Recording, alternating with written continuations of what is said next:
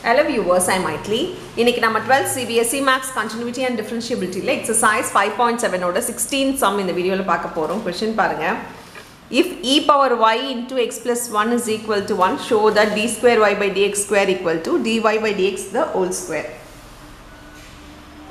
இது நம்ம டிஃப்ரென்ஷியேட் ரெண்டு சைடுமே பண்ண போகிறோம் அப்படி ரெண்டு சைடும் பண்ணுறதா இருந்தால் இது வந்து டிஒய் பை டிஎக்ஸை கண்டுபிடிக்கணும் மறுபடியும் double differentiation d square y by dx ஸ்கொயரையும் அவங்க கண்டுபிடிக்க சொல்லியிருக்காங்க. ஸோ இது differentiating on both the side equal to கொடுத்துருக்கும் போது இங்கே பார்த்தீங்கன்னா ரெண்டுமே மல்டிப்ளேயில் இருக்குது மல்டிப்ளேயில் இருந்தால் கண்டிப்பாக ப்ராடக்ட் ரூல் யூஸ் பண்ணணும் இப்படி ப்ராடக்ட் ரூல் யூஸ் பண்ணால் ப்ராடக்ட் ரூல் உங்களுக்கு தெரியும். யூவி வந்து UV dash plus V U dash டேஷ்ன்றது இங்கே டிஃப்ரென்ஷியேஷன் வி டிஃப்ரென்ஷியேஷன் இங்கே யூ டிஃப்ரென்ஷியேஷன் ஸோ இதை அப்படியே வச்சு இதை டிஃப்ரென்ஷியேட் பண்ணால் ஒன்னு வரும்.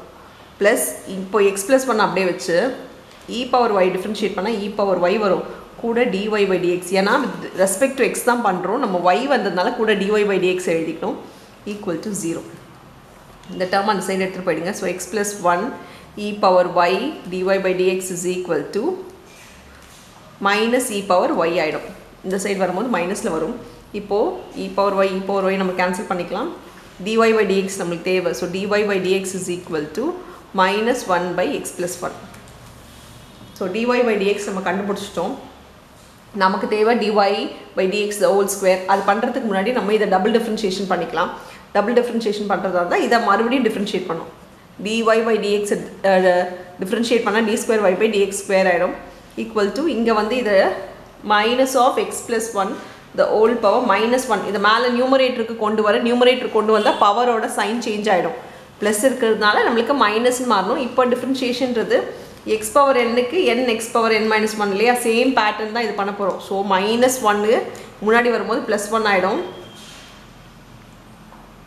இங்கே இதை டிஃப்ரென்ஷியேட் பண்ணுறதா இருந்தால் இது அப்படியே வந்து மேலே வந்து மைனஸ் ஒன் மைனஸ் ஒன் ஆகிடும் into inner function differentiation inner function differentiation நம்மளுக்கு ஒன் தான்.